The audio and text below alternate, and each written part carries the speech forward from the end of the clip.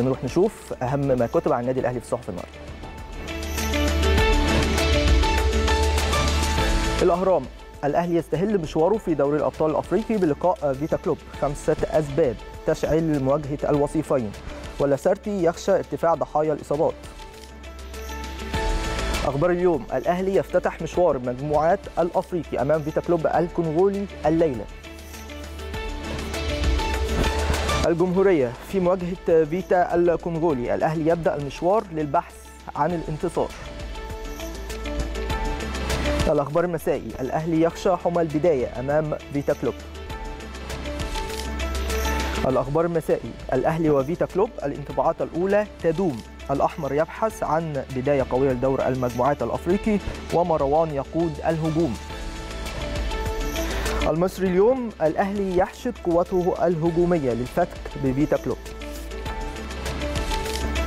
المسا الأهلي متحفز لضربة البداية مع فيتا كلوب.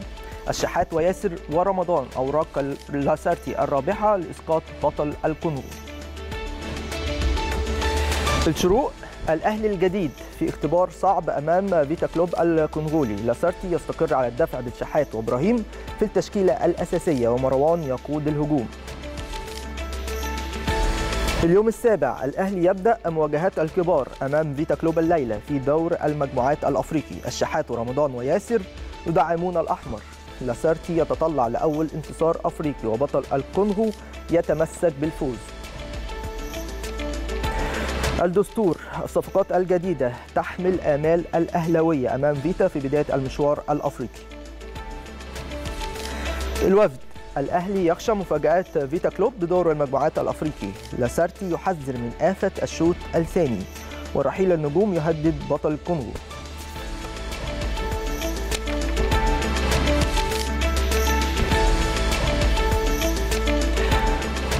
طيب الأخبار كلها طبعا بتتكلم عن مباراة النهارده. طبعا دي كواليس اللي إحنا شايفينها دلوقتي على الشاشة. دي كواليس فريق النادي الأهلي في مقر إقامته في برج العرب أحد الفنادق القريبة من استاد الجيش.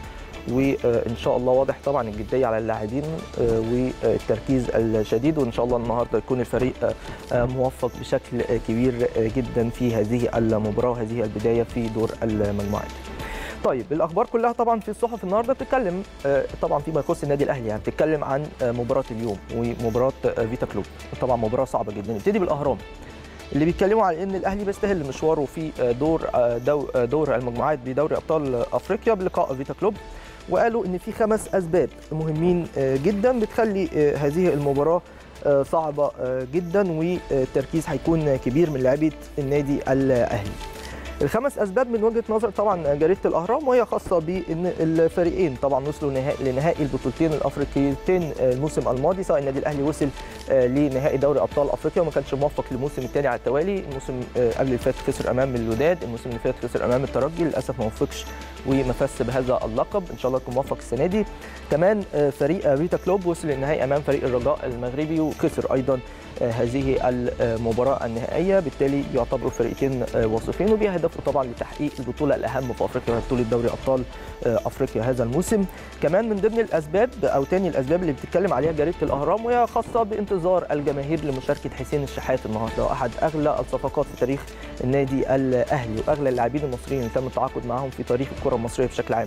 إحنا عارفين إن أغلى صفقة هي صفقة كينو في بيراميدز يعني لكن كلاعب مصري دي أغلى صفقة بالنسبة للاعب مصري داخل الدوري أو جاي من بره على الدوري المصري. فبالتالي في انتظار وترقب كبير لمشاركة حسين الشحات الأولى مع النادي الأهلي النهارده وهيحمل القميص رقم 15 إن شاء الله نتمنى له كل التوفيق. كمان في ترقب لباقي الصفقات اللي ممكن تشارك بشكل أساسي في مباراة اليوم.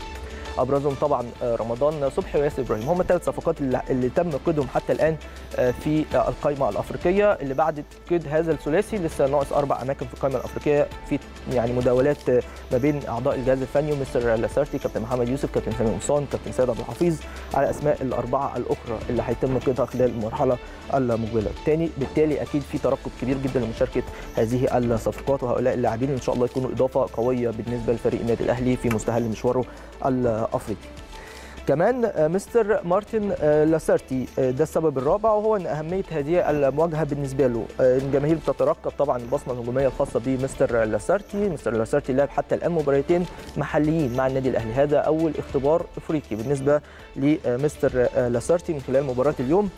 طبعا مباراتين المحليين النادي الأهلي خسر أمام بيراميدز 2-1 وفاز فاز على سموحة بنتيجة 1-0 بالتالي النهارده هيكون أول اختبار مهم جدا لمستر لاسارتي في بطولة دوري أبطال أفريقيا بإذن الله بإذن الله بصمته يعني هتبان مع الوقت إن شاء الله مع فريق النادي الأهلي ويقدر إن هو يحقق كل آمال وطموحات الجماهير الحمراء.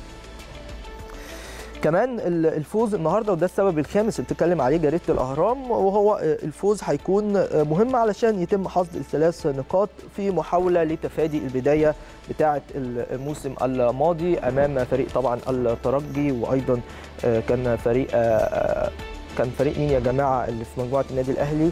الأوغندي فريق أوغندي كان مع النادي الأهلي الموسم اللي فات كان بالا سيتي آه فبالتالي كانت البداية كانت صعبة بالنسبة للفريق خسارة أول مباراة وتعادل مع الترجي أو خسارة المباراة الثانية وتعادل في المباراة الأولى مع الترجي إن شاء الله السيناريو السيناريو ده ما يتكررش مرة أخرى بالنسبة للنادي الأهلي. إن شاء الله تكون البداية جيدة. خليني أقول لكم التشكيل المتوقع بالنسبة لفريق النادي الأهلي النهارده واللي اعتقد هو ده اللي هيكون الأقرب إن الفريق يلعب بيه مباراة الليلة أمام فريق فيتا كلوب. هيكون في حراسة المرمى محمد الشناوي أمامه كل من محمد هاني كمدافع أيمن وعلي معلول كمدافع أيسر وهيكون اثنين المساكين بنسبة كبيرة طبعا. ده مش تشكيل رسمي يا جماعة ده تشكيل متوقع. هيكون ياسر إبراهيم الوافد الجديد من سموحة وأيضا أيمن أشرف لاعب الفريق.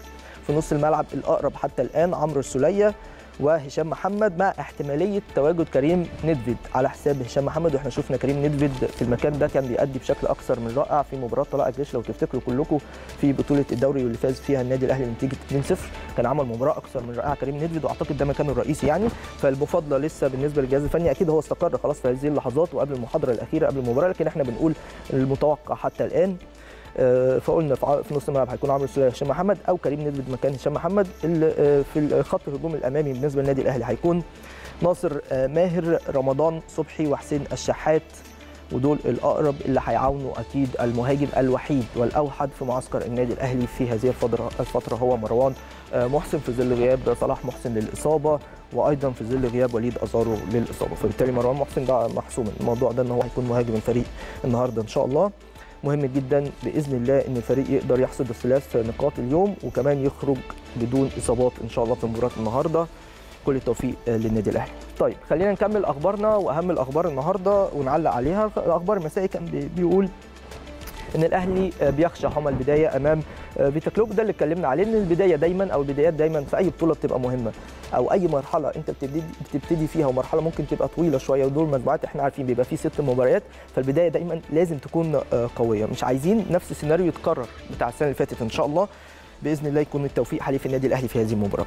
كمان الأهرام المسائي قال أو الأخبار المسائي عفوا قال إن الأهلي وفيتا كلوب الانطباعات الأولى تدوم وإحنا زي ما بنتكلم برضو يعني الكلام كله في نفس المعنى إن دايما البداية والانطباعات الأولى هي اللي بتديك دفعة قوية جدا نحو استكمال مشوارك في مختلف البطولات وكمان بيقولوا إن مروان محسن هو اللي هيقود الهجوم وده شيء مفروغ منه وبديهي جدا. المسا كمان اتكلمت على إن الأهلي متحفز لضربة البداية مع فيتا كلوب والشحات وياسر ورمضان أوراق لاسارتي الرابحة لإسقاط بطل الكونغو والتكهنات كلها بتقول إن الثلاثي الجديد بالنسبة للنادي الأهلي هيكون قريب جدا إن هو يشارك في هذه المباراة بشكل أساسي مع بداية هذه المباراة. عناصر كلها مهمة جدا بخلاف اللاعبين القدامى كلهم لاعبين مميزين وعلى درجة كبيرة من الكفاءه لكن أيضا الإضافات دايما بتكون مهمة. عندك حسين شحات لاعب مهم جدا جدا جدا وإن شاء الله يكون إضافة قوية بالنسبة للنادي الأهلي ياسر إبراهيم كان إضافة أو يعني يظل إضافة قوية في خط دفاع النادي الأهلي خصوصا في ظل غياب عدد كبير من اللاعبين في هذا المركز. كمان رمضان صبحي البداية بتاعته مع النادي الأهلي جيدة جدا تعتبر بداية جيدة جدا يعني في مقابل التوقعات اللي الناس كانت متوقعة إن رمضان بقاله فترة ما بيلعبش مع فريق هادرسفيلد الإنجليزي فبالتالي ممكن ما يكونش في فورمة المباريات. لا شفنا رمضان صبحي في مباراتين بيراميدز وسموحة كان بيأدي بشكل مميز جدا. إن شاء الله مع توالي المباريات كمان بالنسبة لرمضان صبحي نشوف أداء ممتاز من هذا اللاعب الرائع طبعا رمضان صبحي. اليوم السابع بتتكلم عن إن بداية المباراة أو بداية النادي الأهلي في هذه البطولة هيكون أمام فريق كبير أمام فيتا كلوب النهارده بالليل. وطبعا أيضا بيتكلموا عن الشحات ورمضان وياسر إن هم هيدعموا صفوف الفريق وبطل الكونغو يتمسك بالفوز. بطل الكونغو أكيد عنده طموحات كبيرة جدا إن هو يفوز في مباراة النهارده وإن شاء الله ده ما يحصلش وده حق مشروع لكل الفرق. في المشاركة في أي بطولة لكن أكيد مباراة هتكون صعبة جدا. الأهم الأهم إن شاء الله النادي الأهلي على مدار ال 90 دقيقة يكون بأداء جيد. طبعا مش هنقول إن بأداء بدني عالي جدا مستحيل أي فريق في العالم يلعب بأداء بدني مرتفع على طوال ال 90 دقيقة. لكن أقل تقدير ما يبقاش الشوط الثاني مختلف تماما عن الشوط الأول. زي ما كنا بنشوف في آخر مباراتين كده لا عايزين إن شاء الله الشوط الأول والشوط الثاني يكونوا بالأداء المطلوب واللي يؤدي في النهاية الفوز النادي الأهلي بمباراة اليوم إن شاء الله. وحصد أول ثلاث نقاط. الدستور كمان بتتكلم على الصفقات الجديدة والكل في الحقيقة بيتكلم على الصفقات الجديدة وكل جمهور النادي الأهلي في ترقب كبير جدا لمشاركة الصفقات النهارده. بالتحديد حسين الشحات وياسر إبراهيم. رمضان صبحي شفنا آخر مباراتين لكن إن شاء الله كمان الصفقتين دول سواء حسين الشحات أو ياسر إبراهيم يكونوا إضافة قوية من خلال مباراة اليوم. الصفقات الجديدة أكيد بتحمل آمال الأهلاوية أمام فريق فيتا كلوب في بداية المشوار. إن شاء الله يكونوا إضافة قوية من خلال مباراة اليوم ويبان الانسجام السريع بالنسبة لهم واللاعبين طبعا كانوا متواجدين في الدوري المصري وعندهم دراية كبيرة جدا بالنادي الأهلي وأسلوب اللعب واكيد اللاعبين المتواجدين في النادي الأهلي أصلا من البداية أكيد عندهم علاقات جيدة معاهم. فبالتالي إن شاء الله يكون توليفة رائعة في مسيرة النادي الأهلي نحو الفوز بالبطولة إن شاء الله بشكل عام. الهدف مش الفوز بس مباراة النهارده. مباراة النهارده بداية لكن إن شاء الله الأهم من البداية إنك تستكمل مشوارك بالشكل اللائق والشكل الأفضل لحصد هذا اللقب الضال عن دولاب بطولات النادي الأهلي. إن شاء الله يرجع قريب بإذن الله. في نهاية شهر خمسة كده أول ستة يكون البطولة دي أو الكاس ده يكون في دولاب بطولات النادي الأهلي من جديد للمرة التاسعة في تاريخه.